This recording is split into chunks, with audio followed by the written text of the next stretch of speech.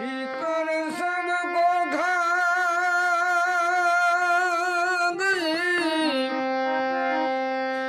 could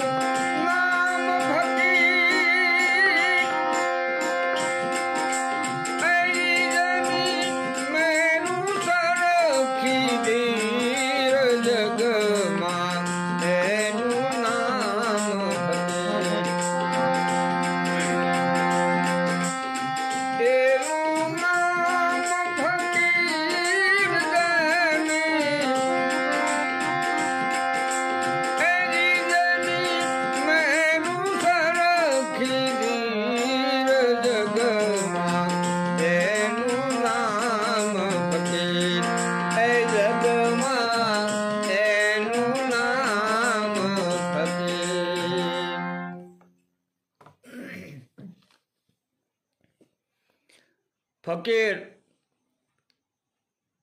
કે સંત એની પદવી જેને મળે છે ને?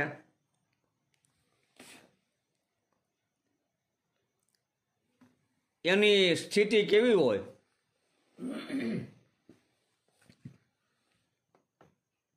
એનું વર્ણન શ્રી દુલાભાઈ કાગ.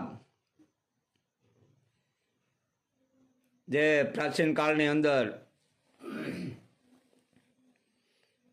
જે એક મહાન કવિ જે દુલાભાયા કાગ મજાદરની અંદર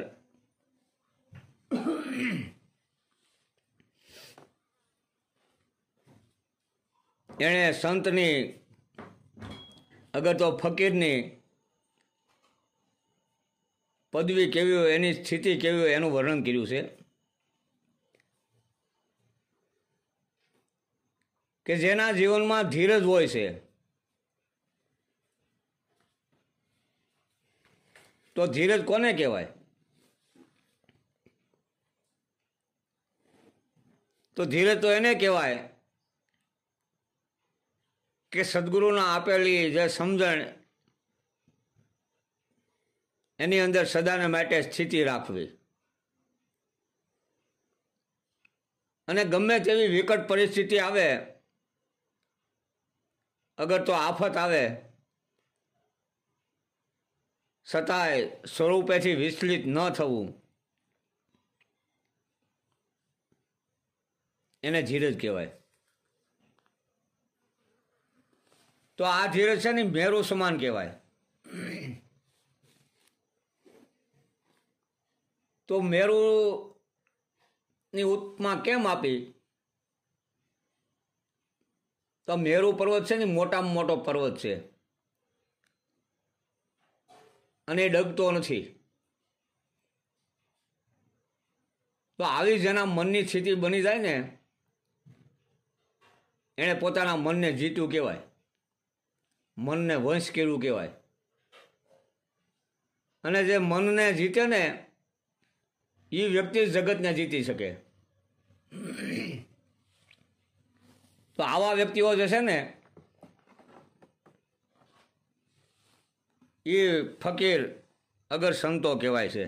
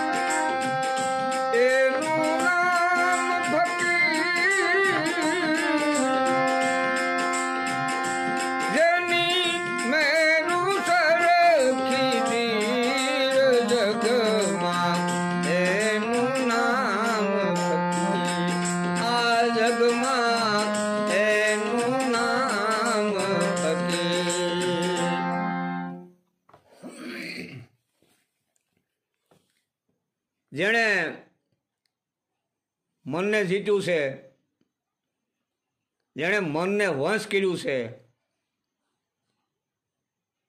એના જીવનમાં મારો તારો એવો ભેદ મટી જાય છે. કારણ આપણે જેને જે જે આપણને આપણું લાગે છે ને, એ બધી આપણી ગેરસમજ છે. આ ગેરસમજને હિસાબે જ આપણને મારું મનાય છે. બાકી રૂપિયા કે મિલકત કે કદાચ દીકરા, એ કાંઈ આપણું નથી.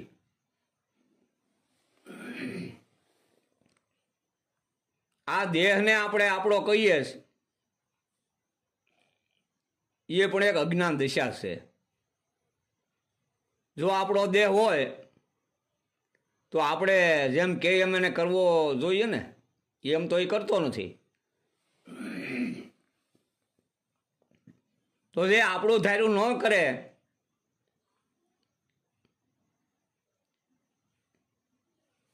એ આપણું ક્યાંથી હોય?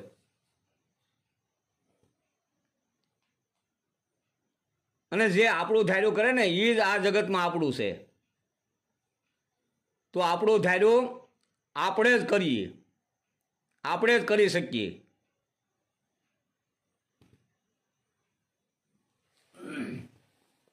પણ મનને જ્યારે જીતાય ને ત્યારે મનને આપણે જીતી નથી શકતા. એટલે મનના ગુલામ બનીને રહેવું પડે છે.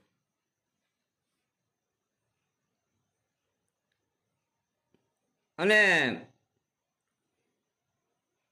જે મનના ધણી બની જાય ને,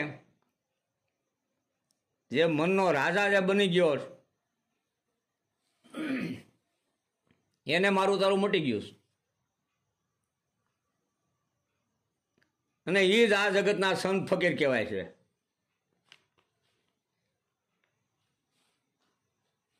અને એના જીવનમાં સમંદર સમાન વિશાળતા હોય છે.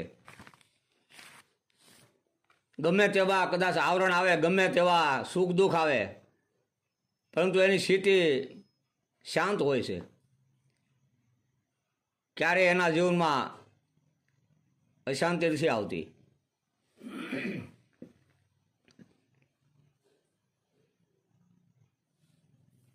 ગમે એટલા વિચારો કદાચ નદીઓની જેમ ઘોઘવાટા કરતા. આવતા હોય ને, ઉભરા મારતા હોય ને, છતાંય શાંત થઈ જાય. અને ગંભીરતા અને ધીરજ એ ક્યારેય નથી ગુમાવતા.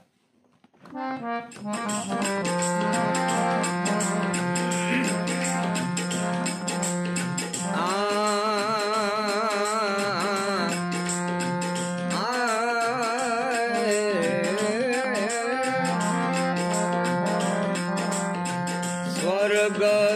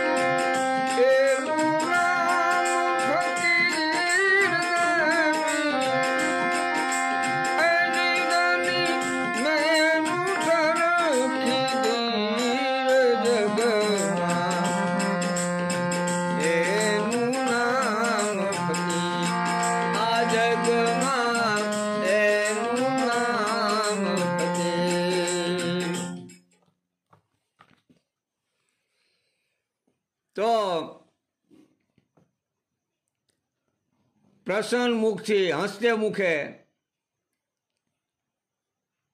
એ પરાય પીઢને ભોગવી લઈશ. અને સ્વર્ગની સાહના ન કરે. તો સ્વર્ગ અને નર્ક એ બે માનવના જીવનમાં એક માન્યતા છે. એવી હદડ થઈ ગઈ છે માન્યતા. અને એ માન્યતા વ્યવહારિક દિશા છે ને જ્યાં સુધી જીવ દિશા છે ને, ત્યાં સુધી બરાબર છે. ત્યાં સુધી હાથસી લાગે. નહીતર આ જીવન છે ને, એ આસુરી વૃત્તિવાળું બની જાય. આ જગતના દરેક વ્યક્તિ બ્રહ્મ જ્ઞાનને નથી પામી શકતા.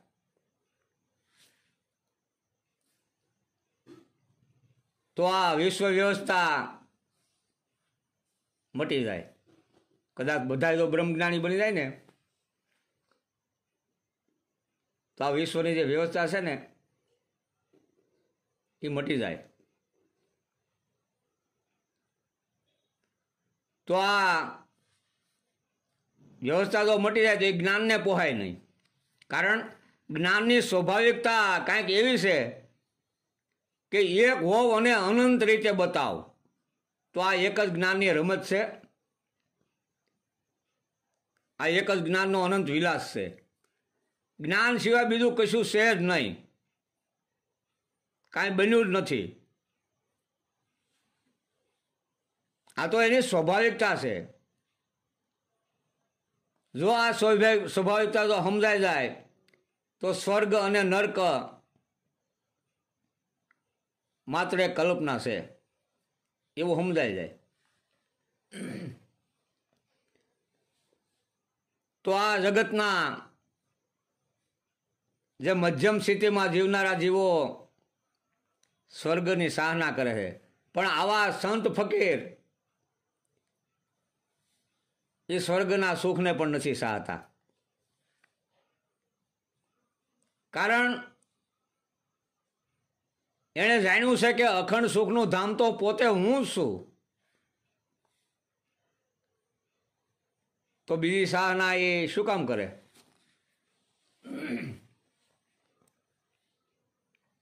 અને આવે આવા જાણપણાથી સુખી જેનું શરીર એટલે એનું હોવું છે ને, એ સદાને માટે સુખરૂપ હોય છે. અને આવા મહાપુરુષોનું મન સદા પ્રસન્ન જ હોય છે. અને પરાઈ પીડ એટલે તો આ દેહ આપણો જે છે દેહને ગમે એવી પીડા હોય, છતાંય એ પ્રસન્ન મુખે પોતે ભોગવી લે, સહન કરી લેતા હોય છે. કોઈ બાપા મરી ગયો હવે મારું શું થાય? હવે હું રહેવાનો નથી. આવા બળેડા એ નથી નાખતા. એ પ્રસન્ન વદનથી એ પોતે આવો ગમે એવો સંકટ આવ્યો હોય, દુઃખ આવ્યો હોય, તો એ સહન કરી લે છે.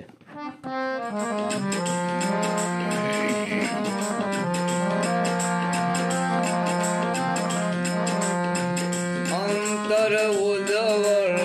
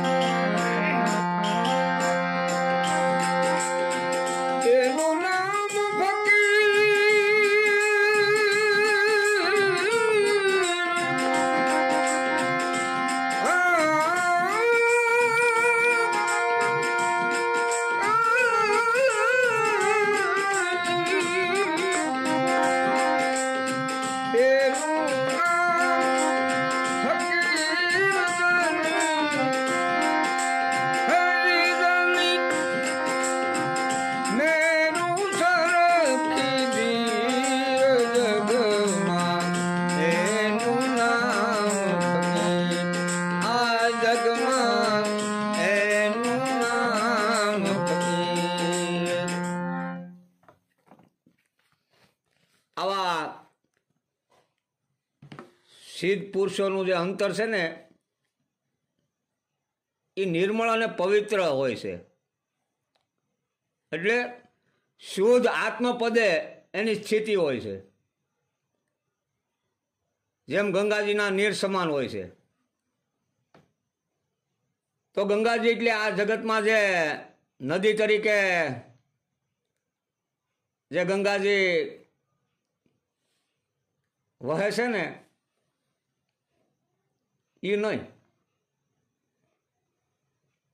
પણ જ્ઞાનરૂપી ગંગાજી છે એ ગંગા જ આપણા આત્મતત્વને પવિત્ર કરી શકે. આ નદીની રૂપમાં જે ગંગાજી જે વહ્યા જાય છે, એમાં કદાચ સ્નાન આપણે કરીએ, તો આપણો દેહ પવિત્ર થાય. પણ આત્મ પવિત્ર ન બની શકે. અને આવા મહાપુરુષો એ વર્તમાનમાં સ્થિર બની ગયા હોય છે. કે ભૂતકાળ કે ભવિષ્યકાળમાં નથી ભટકતા.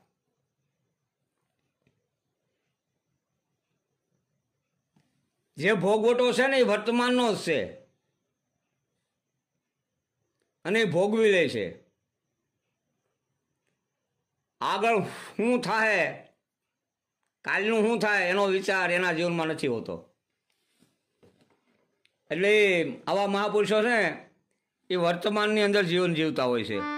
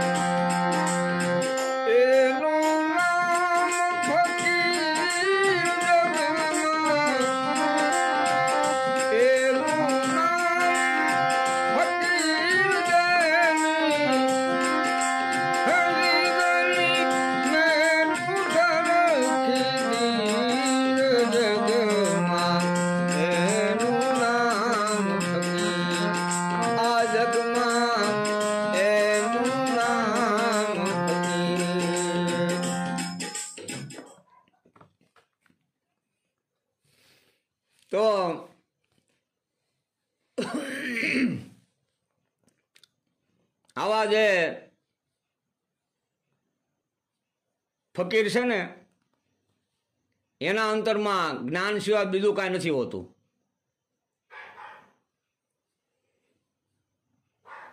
એમની દરેક ક્રિયા જ્ઞાનમય બની જાય છે. અને એનો દેહ સબળ. સબળ એટલે સારા બળવાળો.